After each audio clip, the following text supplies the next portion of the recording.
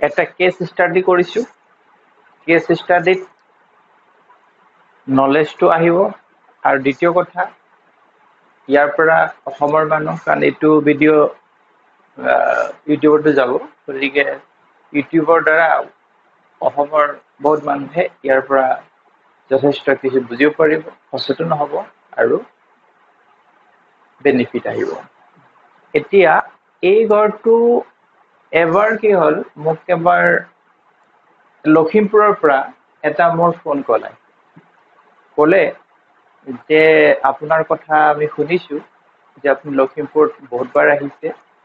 গতিকে আমাৰ ঘৰটো এবাৰ আহিব লাগিছিলে চাব লাগিছিলে যে বহুত প্ৰব্লেম হৈ আছে বহুত কিবা কিবি কৰিছোঁ। তাৰপিছত মই ক'লো যে মই আহি পাইছোঁৱেই বেছিদিন হোৱা নাই মই কিছুদিনৰ পিছত যাম। বোলে হ'ব আপুনি সোনকালে আহক। তাৰপিছত তেওঁলোকৰ লগত কথা বতৰা হ'ল এপইণ্টমেণ্ট দিয়া গ'ল আৰু সেই হিচাপত হিচাপ নিকাচ হোৱাৰ পিছত তো মই লখিমপুৰ যোৱাৰ সিদ্ধান্ত ল'লোঁ। তেওঁলোকে ক'লে পিছত এদিন মোক ফোন কৰি ক'লে যে সেই ঘৰটো এই ঘৰটো তেওঁলোকে নতুনকৈ কিনিছে। ইয়াৰ আগত এই ঘৰটো যাৰ যি অ'নাৰ আছিল সেই অ'নাৰ হাজবেণ্ড ৱাইফৰ মাজত কাজিয়া লাগিল। কাজিয়া লগাত ৱাইফে হাজবেণ্ডৰ ওপৰত কেছ দি দিলে। কেছ দিয়াৰ পিছত হাজবেণ্ডৰ জেল হৈ গ'ল।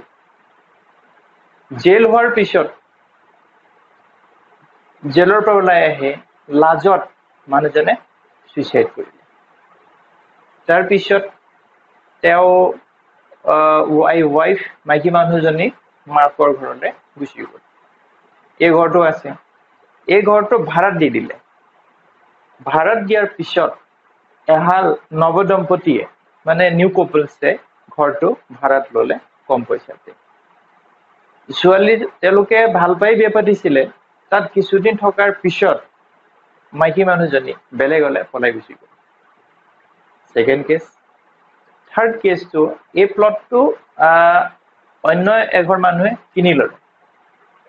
কিনি লোৱাৰ পিছত তেখেতলোক ঠিক এক বছৰ এক বছৰৰ মূৰত মানুহজনৰ হাৰ্টৰ প্ৰব্লেম হৈ মানুহজন ঢুকাই থাকিলে মৃত্যু হৈ গ'ল। আৰু সেই ফেমিলিটোৱে মোক মাতিলে থাৰ্ড যিটো কেছ আছিল। তো মাতিলে তাৰপিছত মই গ'লোঁ আৰু গম পালোঁ মোক ক'লে তেখেতলোকে যে মোৰ আগতো মানে গোসাঁইসকলে আহি কেইবাজনকো মাতি সেই ঘৰটোত মানে পূজা পাতল দান দক্ষিণা তন্ত্ৰ মন্ত্ৰ বহুত কৰিলে। শিৱৰ হেৰিয়াত ত্ৰিশূলো দিলে। তো একো তাৰ পৰা ফল ধৰা নাই। আৰু ক'লে যে এই ঘৰ এই ঘৰটোত বাহিৰে বস্তু আছে প্ৰেতাত্মা আছে। ঠিক আছে। তাৰপিছত গম পালো আৰু তেনেকুৱা এষ্ট্ৰলজাৰ যিসকল পণ্ডিত বা বাস্তুৰ বিষয়ে তেওঁলোকৰ অলপ এষ্ট্ৰলজিকেলি নলেজ আছে তো তেনেকুৱা এজন আহিলে অহাৰ সেইখিনি চাই পেলাই কিছু অলপ অদল বদল কৰি দিলে। যেনেকে মই গৈ পেলাই পিছত দেখিলো যে গেটখন আছিলে এইফালে আছিলে তেওঁলোকে আনি দিলে ইয়াত। যেতিয়া মই গৈ পালোগে। তাৰপিছত মই ঘৰটো অবজাৰ্ভেশ্যন কৰিলো। অবজাৰ্ভেশ্যন কৰাৰ পিছত দেখা গ'ল যে গেটটো আছে ইয়াত লোহাৰ গেটটো। তেওঁলোকে পোষ্ট বহাইছে আৰু ভগা পোষ্ট দেখিলো গেটটো আছে ডিফেক্টিভ তাৰপিছত এইফালে দক্ষিণৰ ফালে মাটি বহুত। ইষ্টৰ ফালেও মাটি আছে নথকা নহয়। হা? আৰু এইটো তেওঁলোকে কি কৰিছে শাক চব্জি এনেকুৱা খেতি কৰিবৰ কাৰণে এইটো জেওৰা মাৰি পেলাই ব্লক কৰি দিছে জেগাটো। ঠিক আছে। তাৰপিছত যিটো এইটো মেইন ডোৰ আছে তো এইফালেদি মই সোমালোঁ। সোমাই দেখিলোঁ এটা এইটো এটা অ'পেন ৰুম আছে। তো ইয়াত চাইল্ডৰ থাকেও শুৱেও ইয়াতো থাকে এইটো কিটচেন আছে বাকীখিনি বাকীখিনি অসুবিধা নহ'লেও এই ষ্টাডি ৰুম চাইল্ড থকা যিটো ৰুম সেইটো মানে প্ৰব্লেম আৰু দ্বিতীয় কথা তোমাৰ কিটচেনটো আছে নৰ্থ ইষ্টত শত্ৰু কাজিয়া তৈয়াৰ হয়। তো তেওঁলোকৰ হাজবেণ্ড মানুহগৰাকী আৰু ল'ৰাটো। হাজবেণ্ডৰ অলৰেডি ডেথ হৈ গ'ল। মানুহজনী টেনশ্যন চিন্তাৰে বহুত। কাৰণ আগৰটো যিটো ল'ৰা আছিলে সেইটো এতিয়া এইটো আগৰ ল'ৰা হৈ থকা নাই। তাৰ মতি গতি বদলি হৈ গ'ল। শিক্ষা বিদ্যা তাৰ নষ্ট পালে। অলৰেডি মানে এটা অন্ধকাৰ পৰিস্থিতিত তেওঁলোকে বসবাস কৰিছে। তাৰপিছত মই ঘৰটো চালো অবজাৰ্ভ কৰিলো এইফালে এখন ডোৰ আছে বাহিৰ ওলাই গলো ওলাই চালো ইয়াত নৰ্থত এটা টিউবৱেল আছে ঠিক আছে। অসুবিধা নাই। মানে ফাইনেন্স আৰু ব্ৰেইন যিটো হেৰি আছে মানে ইয়াতে ছাপৰ্ট দিছে মেণ্টেল এটা ফুলনেছ যে বিচাৰিছে আৰু এইটোত গৈ মই চালো আটাইতকৈ ডাঙৰ প্ৰব্লেমটো হৈ গ'ল নৰ্থ ইষ্টত লেট্ৰিনটো তো মই দেখাৰ মাত্ৰকে ক'লো যে ইয়াত কোনো ভূত প্ৰেত নাই। আছে এইটো।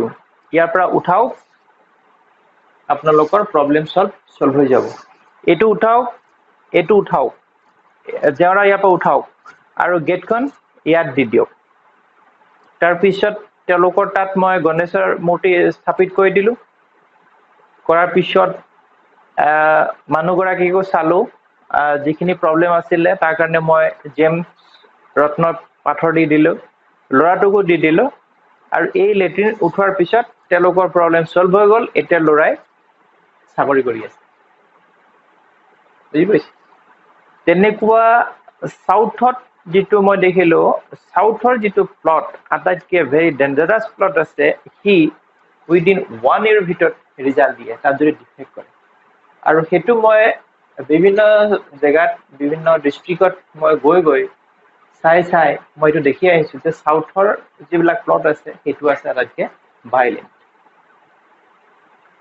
গতিকে চাউথ প্লটত যিকোনো প্লটত তথাপিতো চাউথ প্লটত কনষ্ট্ৰাকশ্যন কৰাটো বি ভেৰি ভেৰি কেয়াৰফুল যাতে তাত অলপো মিষ্টেক হৈ নাযায়। গতিকে এনেকুৱা ধৰণৰ বহুত আছে তেনেকুৱা মই ডিব্ৰুগড়তো চাইছোঁ অজস্ৰ জেগাত গুৱাহাটীতো চাইছোঁ মই বহুত আছে। গতিকে এইটো এক্সাম্পলৰ দ্বাৰা সকলোৱে জানক আৰু বুজক যে বাস্তুটো কিমান ইম্পৰ্টেণ্ট আছে। আৰু প্লট ৱাইজত ই বেলেগ বেলেগ হ'ব আৰু তাৰ যে ফলাফল এদিন পাবই সেইটো নিশ্চিত কিছুমান প্লট যিবিলাক গ্ৰেড আছে A grade B grade C grade আছে তেনেকে ধৰা